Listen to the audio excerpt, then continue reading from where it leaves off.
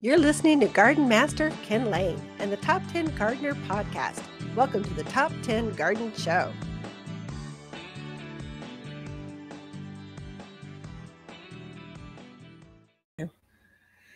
All right, so we are back with Lisa Watters Lain in the studio. She comes each week with your garden questions. Just what are your neighbors talking about? And uh, so we can get some insight into that. So, welcome to the studio, uh, Lisa. Thank you. Always good to be here. Really? Mm, yes. yes. it actually is hard to come up with content 52 weeks out of the year. I, I talk to other business owners or, or uh, hosts or podcasters or, or con- content creators. Mm-hmm. And uh, they go, oh, that's a great idea. I just want to do that. I also want to write a book and I want to start my own.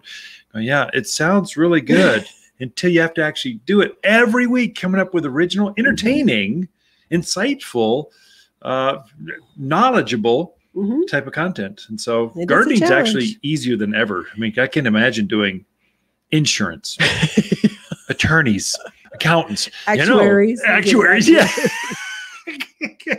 anyway, so this is garden questions. So Mhm. what do we got? Anything interesting going on with the Well- monsoon rains? Well, sure. They're always interesting, right? Right?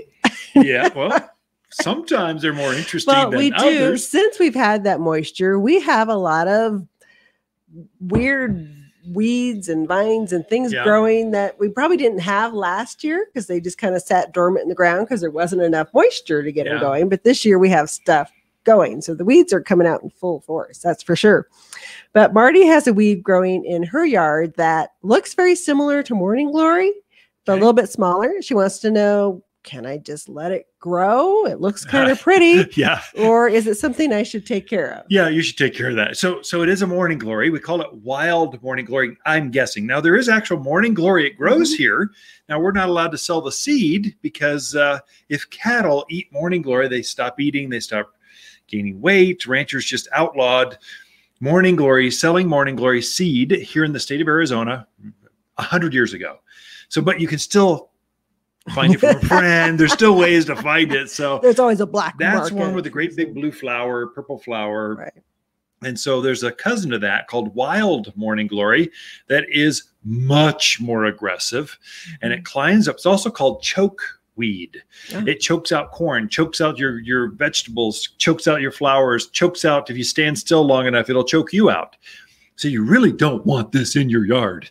And it's an annual. It comes back by seed Mhm. every year. And so it's the rains are kind of what started. So I'm sure well, I've seen a little bit showing up here, but it'll climb up fences Mhm. form a seed and then spew it all over the yard. And so it's very insidious. So you really don't want this in your yard. So Mhm. kill it, pull Is it it out. also known as bindweed? Bindweed. Yep, that's it. Yeah, Usually it's like a little pink or white flower on it. yeah. Comes in a couple different colors, Mhm. but uh, none of it is good. Okay. Don't let it grow. Uh, decimate is a really easy uh, uh, type of weed killer. It's it's a, a liquid. Mhm. mix up in a, in a pump up spray can, spot treat that, and it'll be dead by the end of the day. Basically, it's really fast. Keep up on it. You know, something uh, you mentioned that last year didn't have rain, drought. We didn't have as many weeds, Mhm. uh, and then this year we do. Uh, I, I saw a study that said there's like.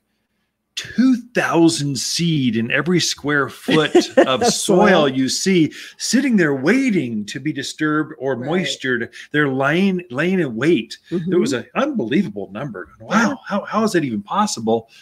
But then you see the rains come and you see why it's possible. Mhm.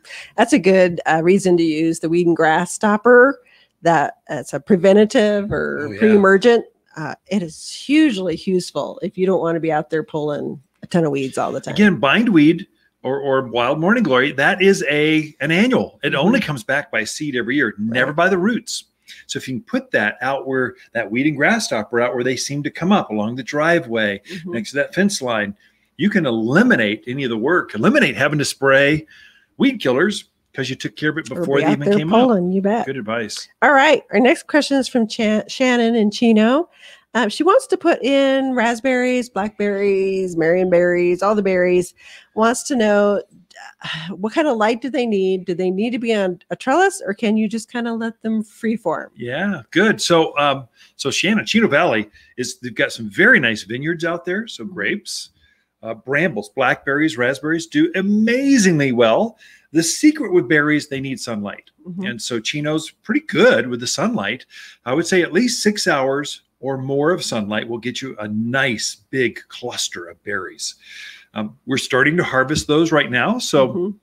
this is when you from from summer through autumn is when you pick most of the berries Mhm. and it's a great time to plant some for next year's harvest. So yes, you can definitely have that.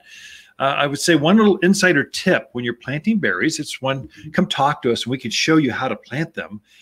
But with berries, they're very sensitive to having soil on their canes or on Mm. their their stems. Mhm. Don't let any soil touch that when you're planting them, or they will crown rot or stem rot uh, in the garden. So they can come back from the roots. But hey, why do that? Right. this beautiful plant you bought from the nursery. You want it to live and thrive and grow. Mhm. Uh, and then trellis or not to trellis, fence or not to fence.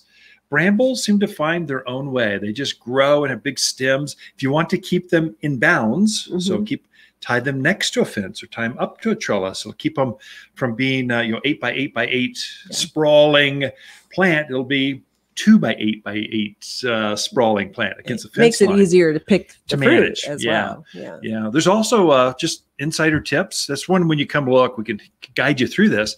But there's thornless varieties, so Mhm. you don't look like you've been in a cat fight when you go to pick the berries. It's just Yeah.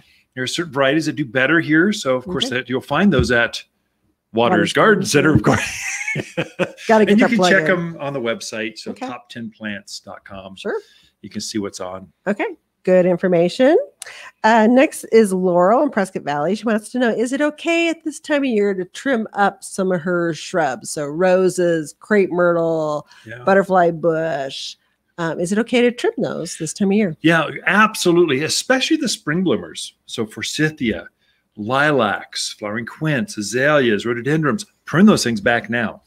And they'll start forming their buds through autumn, through the winter, and they'll bloom next spring. Mhm. Things like butterfly bush, rose of Sharons, crepe myrtles, the things that bloom in the summer, chaste tree. There's a ton of uh, uh, Mm, desert willow. There's a ton of them. right. Uh, those you're better off right now deadheading the spent flowers. Focus on the flowers, pinch the Mhm. flowers off, and they'll repeat bloom. Okay. And then this winter, let's say November, December, January, uh, when it's definitely they've gone dormant, that's the best time to plant or to prune those back. Right now, if you prune them back too much, you can affect their flowers. They won't bloom anymore. And we're in the peak of the bloom cycle. So why not enjoy the flowers Yeah. instead of trying to focus on the the, the size of the plant? Mhm. What the book says is you can prune back 10% of the foliage mass whenever you want. Middle of summer is 100 degrees, prune it back. Right. Uh, the heavy pruning on summer blooming things are done in the winter. So you can pr- prune up to a third of that foliage, a third of the plant, just whack it right back down uh, in winter. The spring bloomers, you're you're really pruning a third of the foliage mass, really cut it back. Let's see a lilacs, it's really gone berserk, too big. You can prune it back now. So Okay. really May, June is ideal, but hey, it's July. Go for it. Okay. I think we got time to sneak one more in. So David had a beautiful maple that was slammed by all the hail Oh no. um, to the Oh. point that it even took bark off the branches and stems. Wants to know, Yeah, that's hard. boy, is it going to make it with that kind of, you know, damage to it? Yeah. And, and then just what things should he be looking out for? So what you do, so so the hail really took out portions, and we're seeing pockets of hail all around the county, really. Mhm. And we're not done. So we've got hail possible through September. Yeah. So things will relief. They will regrow. They'll actually grow more cambium, more bark area around those damaged areas. Will it live? Will it die? I don't know. I'm not uh, all omnipotent. I'm not sure. But I know I'm always stunned at how plants want to live. They Mhm. want to come back. They want to grow. Just nurse them along at all, and they'll come out of it. Yeah. So the best thing now is fertilize with the all-purpose plant food right now. Like take advantage of the. We got three months of growing season left. Take advantage of every day, Mhm. and it'll form new leaves. You'll probably have great fall color this fall, and that bark area it'll actually start to grow over. It might take a couple seasons, but it'll grow over and heal itself. Right. I would give it a chance. Don't give up. If it does die, I know where you can buy a beautiful new maple tree here in Prescott. So, if, but give it a chance first. Okay, out of time. Ken and Lisa Lain, the Mountain Gardeners. We'll be right back after this. Watters Garden companion plants for July are hibiscus, maple, verbena, and crepe myrtle. Crepe myrtle flowers are intense watermelon pink, solar reds, and LED whites that cover this heat loving shrub. Plant where you enjoy its beautiful multicolored bark and sinuous branches up close. The flowers show against forest green foliage that turns red and orange in autumn. Growing to just head height, every yard has room for at least one, and only available for summer planting here at Watters Garden Center in Prescott.